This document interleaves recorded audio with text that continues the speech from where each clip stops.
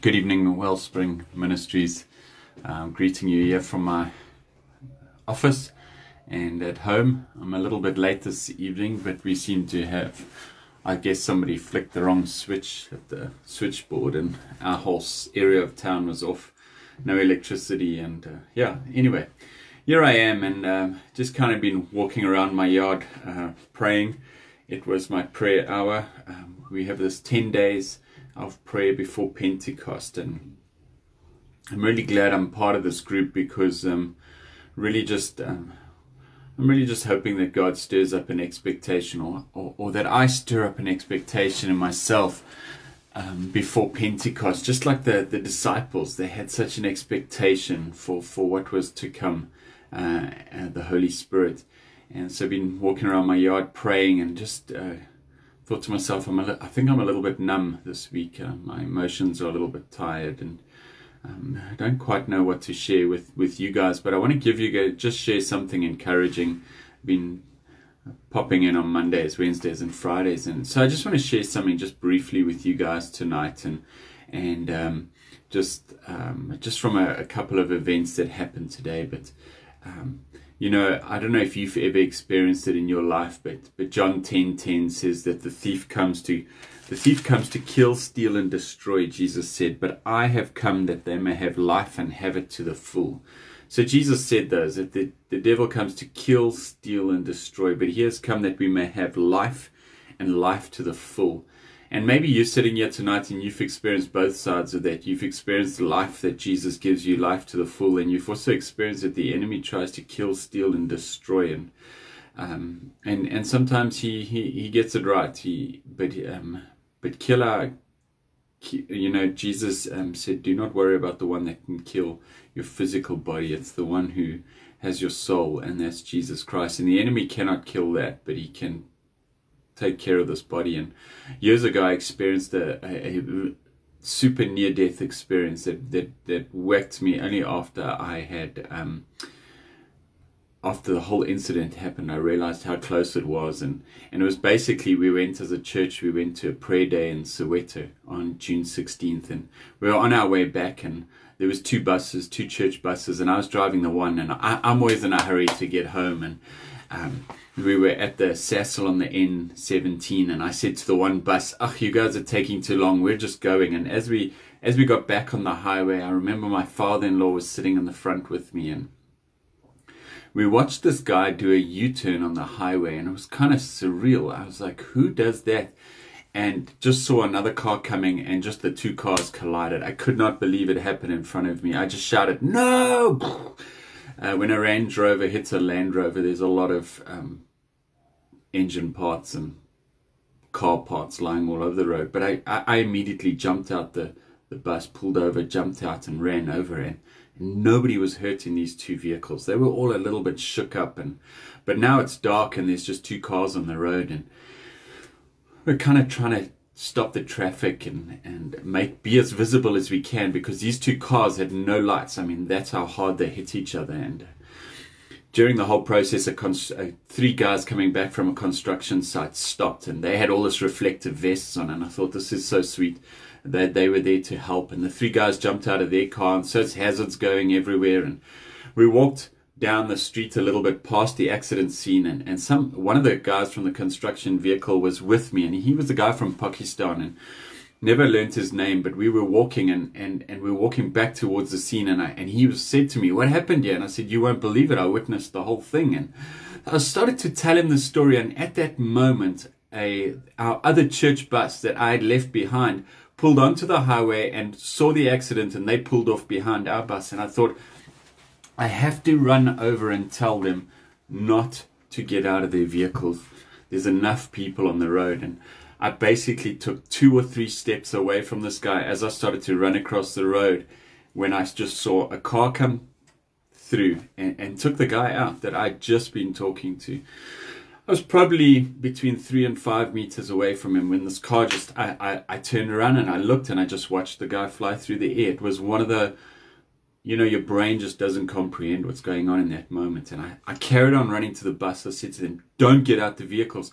And I ran back to this guy on the road just to, I'd never seen a guy hit by a car at 120 k's an hour, and um, he was busy dying on the road, and it, it, it, was it was a really sad moment. I, I, remember there was a few people from from the group Haniki Buerta came out, and she sat with the guy while he died, and um, I went over to the other guy and I said to the the main the boss of these construction guys, I said, "Listen, your colleague is busy dying on the road. He's just been hit by the car."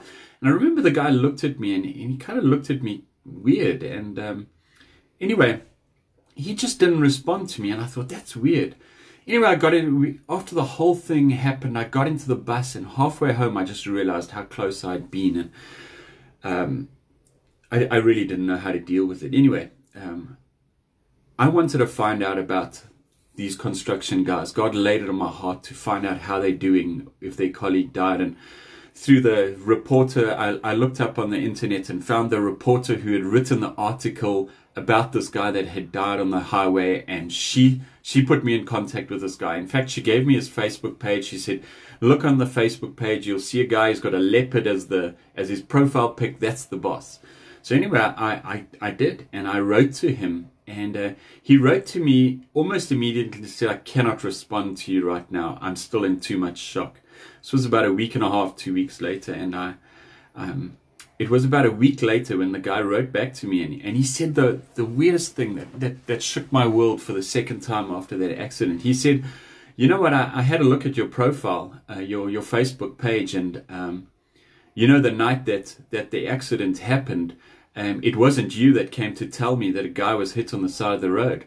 It was my colleague came to tell me, and when I went to look, the guy lying on the road was you. You were the one dying on the side of the road. He said, I, I see your face. It was you. It wasn't my colleague. And it kind of, that's what he saw. And in the process of, of trying to deal with this, I guess I realized that that night the enemy wanted to destroy me. And he wants to destroy each and every single one of us. And um, I'm sharing that story because I, I was talking to a guy on the phone from Australia today, and uh, this guy phoned me out the blue. I haven't seen him since in 10 years. And uh, he said to me, Sheldon, this, this is not about a virus. This is, this is war. This is war.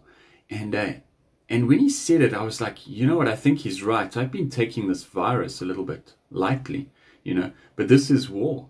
If you have a look at what's going around, if the enemy wants to kill, steal, and destroy, that's what he's doing. This precious seed that Jesus died for, these people that he died for, he's trying to kill, steal, and destroy them. And and uh, and I just pray that when the dust settles after COVID 19, that what you see is the church on their knees, a church that is that is not defeated, a church that is that is that is making waves in God's kingdom for Him, that is steal, that is taking back what the enemy is trying to dis- steal, kill, and destroy. You know, I said the other day that the, the scripture says um, that the gates of hell shall not prevail, and, and we need to storm those gates and take back what belongs to God. Those gates will not prevail. Those gates are put up to keep people inside, not to keep people out.